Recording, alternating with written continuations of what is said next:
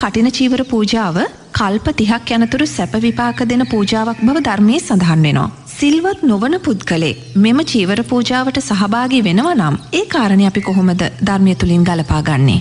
මෙහෙ මයිනෝන ඒ මේකට සම්බන්ධ වෙන අයගේ තියෙන්න්නා වූ ධර්මය ස්භාවය මත එක තියෙන්නුවෙන්. දැන් අපි කියමු ස්වාමින් වහන්සේ නමක් ඉන්නවා. එතොට ඒ ස්වාමින් වහන්සේ වස් සමාදන් වුණාට පස්සේ යම් හේතුවක් නිසා තමන්ගේ වස්සීලය බිඳෙනවා. වස්සීලය බිඳුනත් ගිහි දායක පිරිස දන්නේ නෑ වස්සීලය බිඳුන කියලා. නමුත් ගිහි දායක පිරිස ගිහිල්ලා ඒ ස්වාමීන් වහන්සේට සංඝයා අරමුණු කරගෙන වස්ටීවරි පූජාක තේන දැන් ස්වාමීන් වහන්සේ අතින් සීලය බිදුනා වස්සීලේ බිඳුන යම් හේතුවක් නිසා දවස් සතක් ආරණය පිටුවගිල්ල මොක්කර බිඳුන නම ස්වාමීන් වහන්සේක හැඟෙවෙත් නැහැ වස්සීලය බිඳුනත් දායක පිරිස් සංඝයා අරමුණු කරගෙන කටය චීවරි ස්වාමීන් වහන්සට පූජා කරන.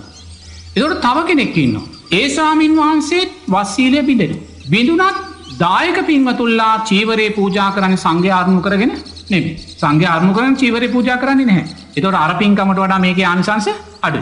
එතොට තවස්වාමීන් වහන්සේ කෙනෙක්කින්න. උන්වහන්සේ වස්සීලය හොඳට සමාදන් වෙන. කිසිම කඩතුළුවක් නැතුව හොඳින් සීලය ආරක්ෂා කළ. සීලය ආරක්ෂා කළත් දායක පිරිත් සංඝය ආරම්ු කරගෙන නෙමේ උන්වහන්සේට චීවරය පූජා කරගන්න. තේන උන්වහන්සේ හොඳින් සීලය සමාදන් වුණා නමුත් අර දායක පිරිස්වල දුර්වලතාව නිසා සංඝයා අරමුණු කරගෙන නෙමේ අරගොල චීවරි පූජා කරගන්න. එතකොට ඇවිල්ල ඒකේ ආනිසංසය අඩු.